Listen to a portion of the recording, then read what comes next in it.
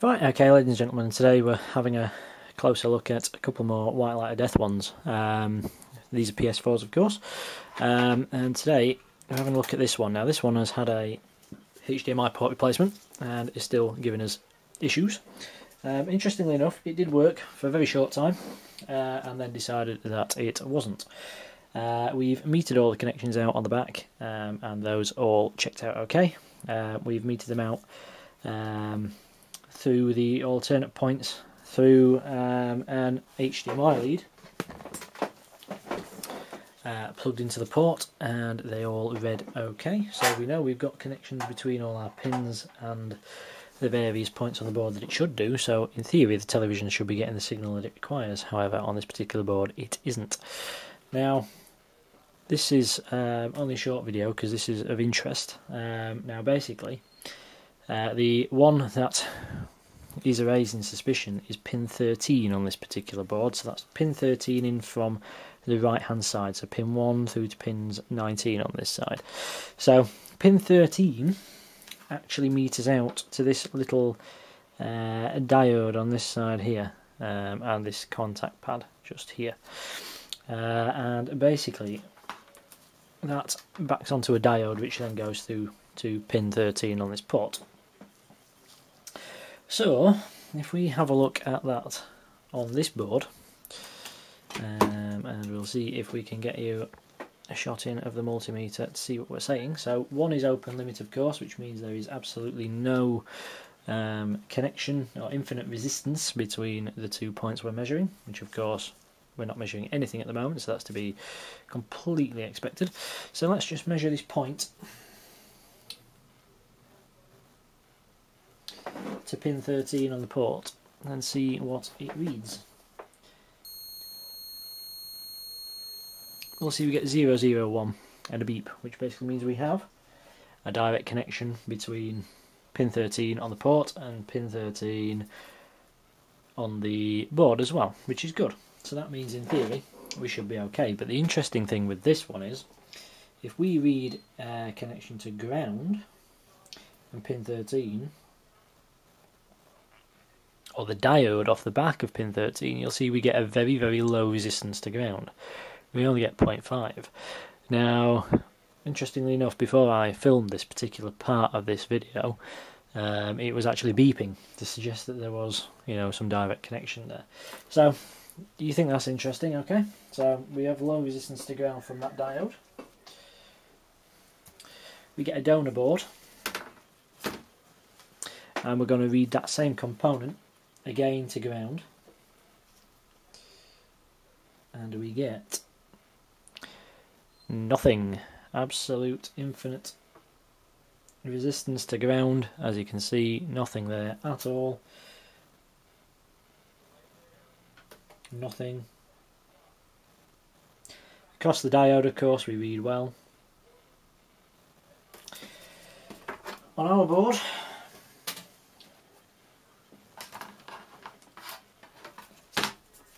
Now aboard.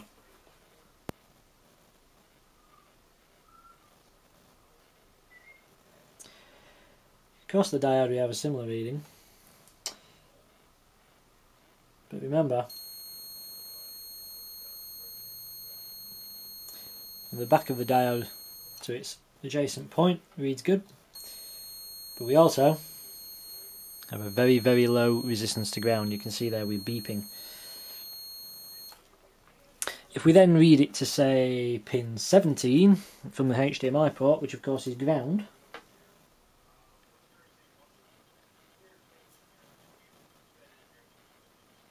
because this is a ground pin, you can see again there we have a very very low resistance to ground which would suggest that we have an issue uh, possibly with the backside of this diode. Okay, so we realise that we have a massive short on pin 13 uh, on this on this board. So when we came around here and we measured um, a lot of these components here, all these here were all shorted to ground. Of course, we had the backside of our diode there, and these two points here all shorted to ground. Um, so yeah, and a few down here as well, which were all shorted to ground as well.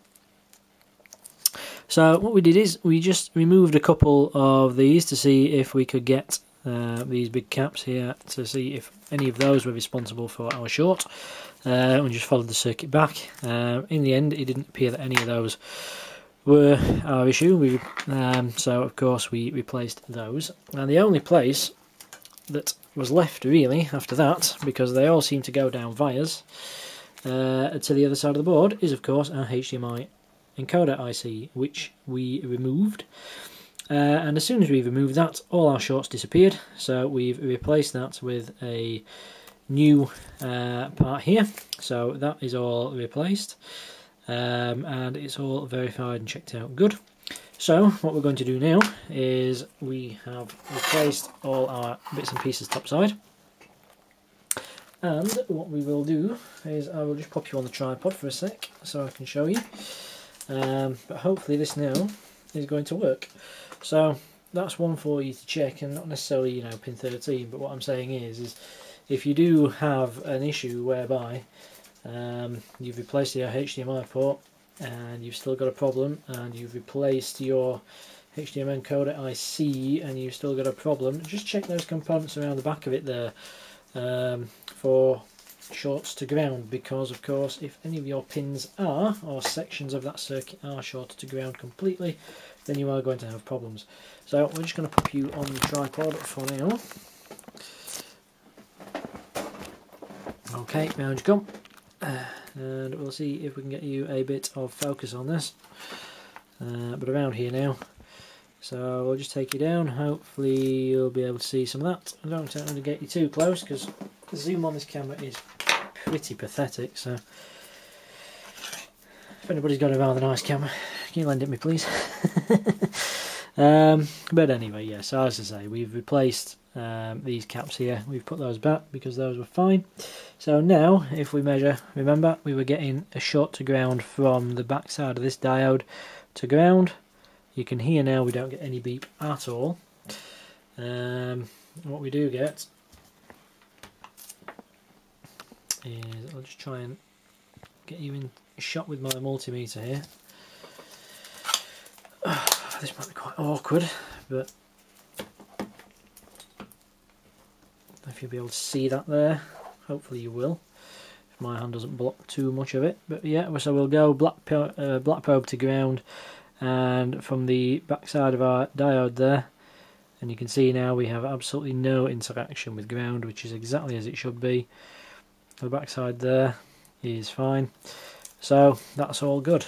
Um, so what we will do is we will run our little link wires back um, to our HDMI port from the backside of that um, we'll go from this pad here to pin 13 then of course from this via here um, to pin 1 uh, and hopefully that will resurrect our PlayStation. So bear with us guys and we will have a look and we'll show you the finished article hopefully plugged into the TV and working. So um, bear with me and we will do that now.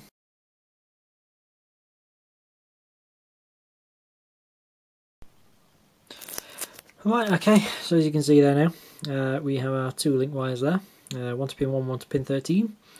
Uh, as I say, we've gone from the um, gone from the pad uh, there the back side of that uh, diode back to pin 13 and from the via to the uh, the corner pin there, pin 1 of our HDMI. So we're just going to nail this bomb back together now and hopefully we're going to get video and audio and everything nice and uh, as nature intended on this PS4. So bear with me guys and we shall see if our um, endeavours have bared any fruit for us. So uh, we'll have a look now. Okay then, so in what is becoming time honoured tradition, let's just fire this up.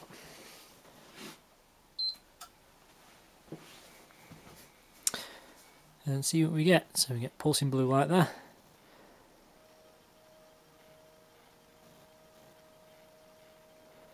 PlayStation logo.